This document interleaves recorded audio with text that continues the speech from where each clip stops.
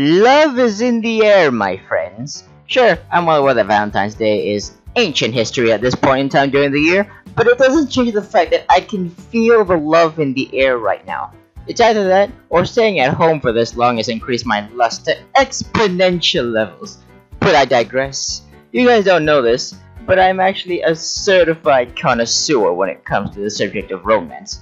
A real ladies' man, if you know what I'm saying. You'll never find a smoother operator than the one in front of you right now. And since I'm such an expert on the subject, I figured I should take the time to teach you, my socially inept audience, the ins and outs of love. And then maybe, just maybe, you too shall be able to reach the level of player that I have managed to reach through the ancient scribes of romance anime. Rejoice, my people, for today we shall be looking through the modernized scribes of my time. So yeah, basically I said in my last video that I'd be going through the seasonal anime, and at the beginning of said video I claimed that every show I'm watching would get their own dedicated video. Something I deeply regret saying. So to take off some of the load placed on myself, we're going to be going through these three shows, which just so happens to have a similar tag on them, romance. I think this would be a good chance to talk about these shows and my thoughts on the genre as a whole, because I've got quite a few things to say. Keep in mind these aren't exactly reviews on the series as a whole. They're still in the process of airing as of the time of this recording. This is more of a first impressions, except for Kaguya-sama, which is going to be talked about in a slightly different fashion because this is the second season. Spoilers are to be expected, but I shall try my best not to get too deep into the serious meats of the story. So, without further ado, let's get cracking, my dudes.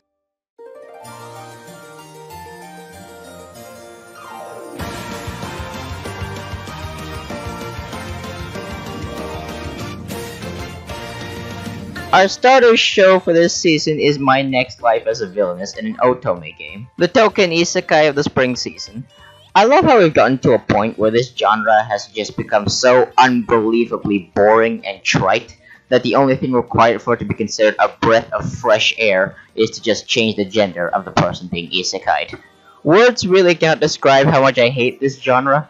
I wouldn't be too bothered about it simply being bad. The problem is that literally everybody refuses to let this shit die. Seriously, how much more mediocrity do you have to keep consuming for you to finally realize that it's a lost cause? The old Japanese men back at the land of the rising sun are completely convinced that they don't have to try anymore with their stories. The thing is, they're right! Because at the end of the day, no matter how much you complain, you're still consuming the product. We are going to discuss this to greater lengths in a future video, but I'll move on for now. This show also falls under the category of reverse harems which I hope I don't have to explain, is also another one of the most hollow and tasteless genres of this medium. Most shows that fall under this label usually suffer from the same sets of problems every single time, from the bland main character to the borderline creepy pretty boys that despite being supposedly straight, leak more homosexual energy than a pride parade, and whose only defining trait is being a man whore. Either that, or they're doing their very best to reach the level of moodiness as Edward Cullen, to this show's credit, though, it's at least enjoyable in its own right. I know I've been doing nothing but giving it a ton of shit simply for the tags it possesses, but the premise of the show genuinely intrigued me, and it kinda did a 180 on me when I discovered what direction the story was going. The promotional art and the synopsis alone had me thinking it was going to be some edgy revenge porn type story. So, with that in mind, I was fully expecting 12 episodes of the main character just tormenting the supposed heroine of the game she was trapped in, and try to take some moral high ground to justify it. You'd get side characters that are just demonized for the sake of making the protagonist look better, even if said protagonist was also acting like a completely trashy human being. They get a pass simply because they're the protagonist, so they can't possibly be in the wrong, right? My next life as a villainess surprisingly doesn't take that route. I was actually pleasantly surprised at how lighthearted and carefree the tone of the story was. The only word I can really use to describe it is wholesome. Keep in mind, I am in no way a moe fag. I think the fact that cute girls doing cute things anime is a normal occurrence is the stupidest fucking thing to ever happen. But there really isn't any other way to describe the show. I think part of the reason why this is more enjoyable is because it keeps things going. A lot of shows that people classify as wholesome usually just set up the story premise and then proceed to abandon any possible overarching story before resorting to random episodic bullshit. In this anime, though, it never abandons what it sets out to do. It introduces the premise and then keeps things moving. This is partly thanks to Katarina, who serves as a very serviceable protagonist for the show. Sure, she's stupid as bricks, and her level of density actually surpasses the guys in harem shows, yet she is still a far better character than most of them. This is due to the fact that she is actually a productive character, as the story forces her to be, or else she'll die or get exiled. She's not just going along with the flow, she is actively trying to influence the events that she knows will take place and have an actual effect on the world. Sure, it's not exactly masterful writing in any sort of way, especially considering that everything just seems to work out for her because she has talk no jutsu on par with Naruto, but at the very least you can chalk it up as a result of her own efforts rather than dumb luck. As for the other characters, they're not exactly unique or interesting in any sort of way. They're basically just the usual lineup of character tropes that you'd see in this genre, but they don't exactly do any damage to the show simply for their existence. Their characters are being handled in a way that's not insultingly bad, but they're not exactly breaking any sort of new ground either. Overall, it's just an average show with an amusing premise. If you're looking for a series that's unlike any isekai you've ever seen before, this obviously isn't the show for you. But if you're someone who's just a casual viewer and looking for something to fill up some time during this whole quarantine, then I'd highly recommend it. I suggest reading the manga more though, as the anime does remove, in my opinion, some of the best panels, and I also find the manga a lot more engaging as well as informative on the matters regarding the story and generally just expresses more out of the characters than the anime does. That's really all I have to say regarding this show. Uh, give it a watch based on your own judgment.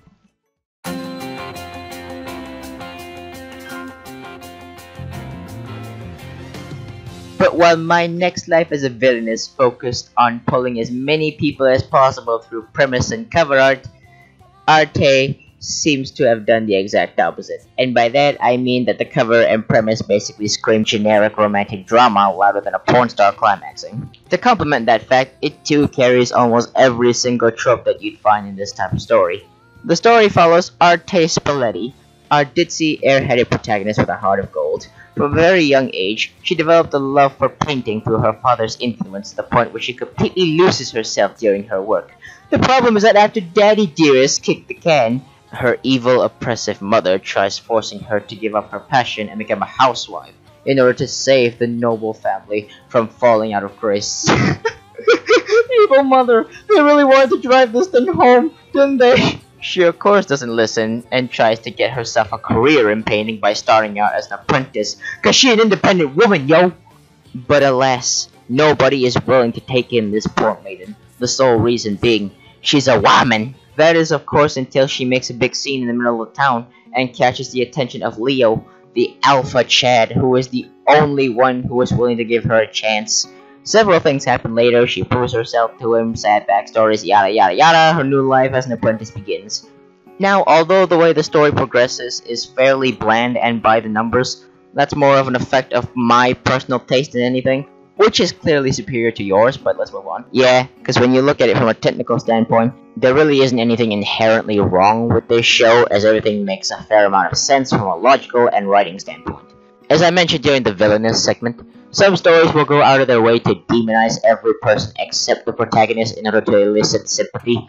It's a very cheap, but more often than not effective way of writing to get people to develop a soft side for your character. However, Although there certainly is discriminatory behavior being presented, there is a factor in this show that allows it to get away with it. What is that factor, you ask? Simple! For you see, the show is protected by the fact that the story has been placed in the appropriate setting. This was during a time period where women were seen as inferior, nothing more than housework and kitchen time for these wenches during this time period. Perhaps a bit over exaggerated for certain scenes, but as a whole, it makes sense. Therefore, it's not victimization. It's historically accurate. I guess this is as good a transition as any to start talking about the cast too, because this is some pretty solid characterization we're getting here. Arte, although not having anything in particular that makes her stand out from other main heroines, acts as a solid protagonist for the series. Her passion for painting, as well as her motivation for wanting to become an artist, makes perfect sense. Her desire to paint was something her father helped her develop. It represented her bond with him, and in a way can be interpreted as one of the few things she has to remember him. So obviously, she doesn't want to give that up just because she's a woman and the world believes she belongs in the kitchen. This was her calling, and she just saw more for herself than the life society was trying to force on her. This makes it very easy to root for her and hope for her success when she actually takes actions into her own hands and hustles forward to try and achieve her dream. Her actions are definitely coming from a place of ignorance and recklessness, but at least she knows that, as she is well aware that what she is doing is incredibly risky but if she was going to have regrets, she'd rather have it on her own terms. Sure, at the end of the day, she's still the cliched, kind-hearted cinnamon roll who never gets mad at anybody, but being cliched doesn't necessarily make her bad. At the very least, she's a productive and decently fleshed out as a character. Whether or not she develops and grows remains to be seen, and yes, there is a difference between developing and fleshing out a character. They're completely different things, and I will get into this in a bit, but I digress. My final thoughts on her may or may not change depending on how the show continues, but for now, she's pretty good in my book. Heck, how could she not be? Look at her deadlift technique. She even managed to help Angelo, the simp of this show, go from a filthy, disgusting simp who sucks up to every woman he sees to an alpha chad who tells them to take care of shit themselves. Arte is great, and if you don't think so, then I guess you just have bad taste. Okay, moving on. And now time for the main event. That's right, we have now reached the point of the video everyone was waiting for. The moneymaker that's going to get the most views out of all the shows being covered in this video. Ladies and gentlemen, I present to you Kaguya-sama Love is War.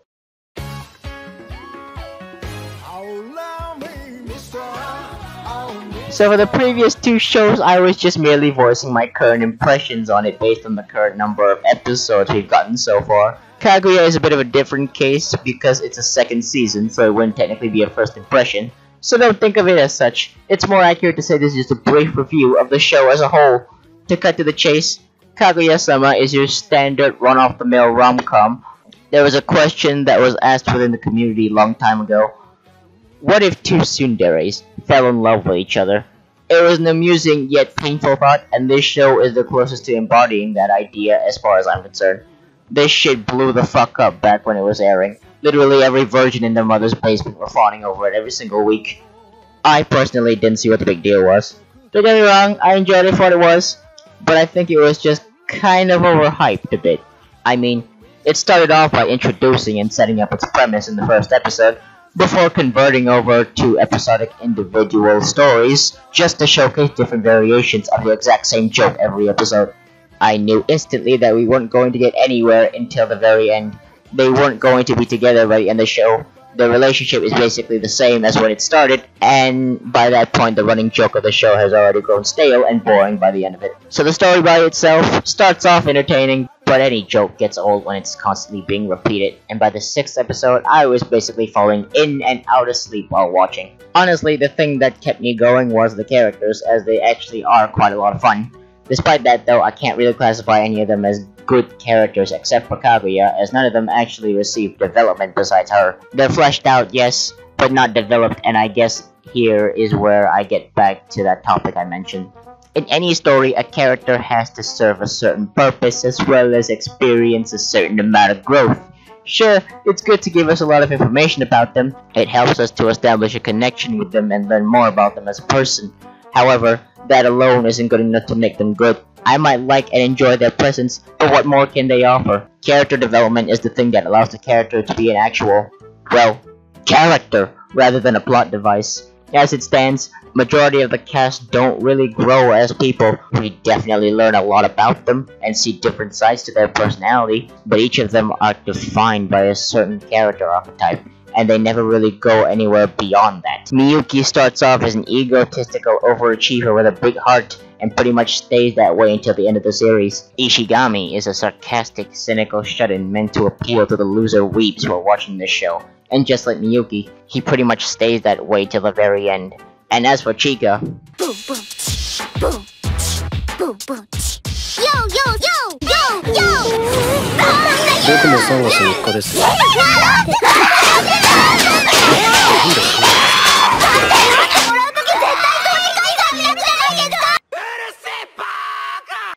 I don't like her at all, really. Her literal existence is a fucking joke, and yet I still don't find her funny in any sort of way. I was honestly very annoyed at how much people were fawning over her, but it's okay. I've come to terms since then that everybody has their own personal taste, and it just so happens that majority of people have shit taste. That brings us over to Kaguya, the sadist, the Ice Queen, the one with the same amount of sexual knowledge of a child, and she just so happens to be my favorite character of the show. Out of the entire cast, Kaguya is the one with the most depth to her character. A sheltered rich girl who, despite being gifted with so much in her life, missed out on so much of the best aspects of it. Sure, her ignorance on certain things in life might occasionally be used for shits and giggles, but when you really take the time to factor it in, it's actually kinda sad. And while the other characters don't really grow in any sort of meaningful way, Kaguya was the only one I could clearly see was changing for the better. She's just as fleshed out as everybody else, and the knowledge that we received about her past actually served to only strengthen the development that she goes through. It's really effective in showing just how far she's really come in the present time, and even goes so far as to show just how much she's still able to potentially keep growing. She's interesting, she's compelling, she has so many layers to her when compared to everyone else, and that alone makes her so much better than Chika as far as waifu wars go. To the show's credit though, I know it sounds like I'm taking a lot of cheap shots at them, but I genuinely do have soft spots for almost every character in the show. Besides, Kaguya might be the only one with a fully realized character, but it doesn't mean the other characters are completely one-dimensional either. Like I said, each of them, okay most of them, are adequately fleshed out. Miyuki is like I said an egotistical overachiever who is still an overall nice guy who is incredibly sweet, but arrogance gives him an extra edge. He's not that dim-witted naive idiot who sees everything as rainbows and sunshine.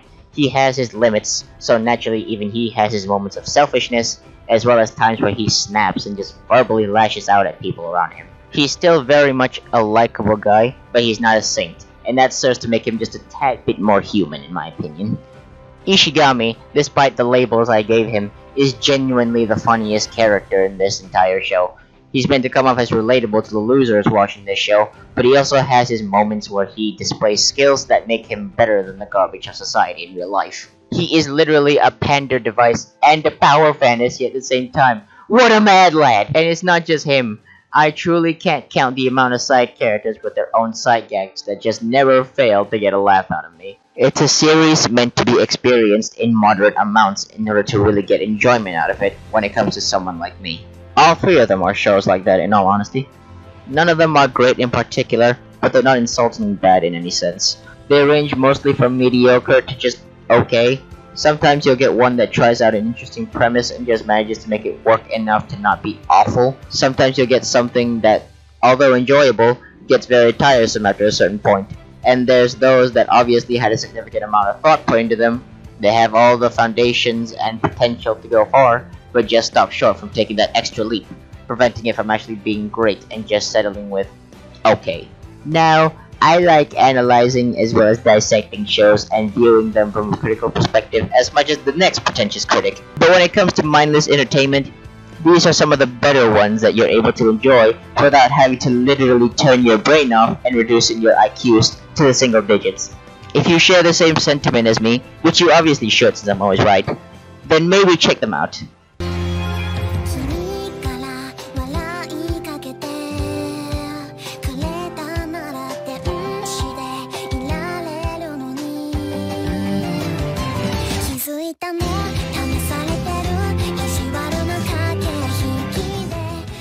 Everybody, thought I'd drop by real quick to say thank you, and I genuinely hope you enjoyed the video, because this was one of the biggest ones I've ever edited, so yeah.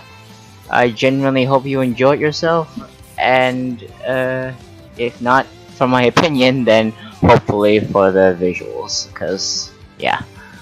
Alright, that's all I had to say. See you in the next video, I guess.